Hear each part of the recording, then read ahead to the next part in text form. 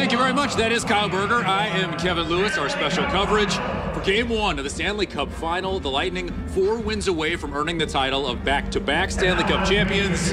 We're about 90 minutes-ish away from puck drop as the Bolts take on the Canadiens. Yeah, so it's a much different feel last year. We're in a bubble, of course. No fans, no noise like we have right now. Only 52 people were allowed to travel with the team.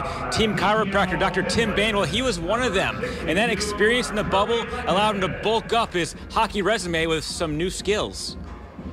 I'm, I'm always the guy that's willing to jump in and try to help out. Dr. Tim Bain has worked as the Lightning team chiropractor since 2011. Normally, his job is in the locker room. The bubble kind of dropped down the amount of people that we had there. So everybody had got different responsibilities and so a lot of my responsibilities changed to helping out on the bench and helping out with uh, sticks and skates and um, drinks and you name it. Now he's up close to the action on the bench.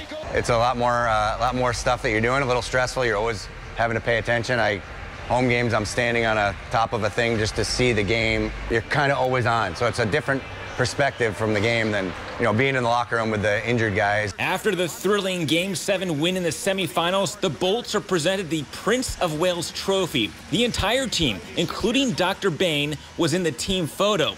It just goes to show how much like family this team really is. These guys are are uh, working hard. Uh, every uh, their staff members, everyone is uh, works so much for this organization, for this team. I feel like uh, the Lightning are a pretty inclusive bunch, and uh, the players know that if it wasn't for some of the people that were doing the stuff behind the scenes, it would probably not go as well. They are all in this together to hopefully bring home another Stanley Cup championship ring. That's all last year. We're, we're still, now we're moving forward.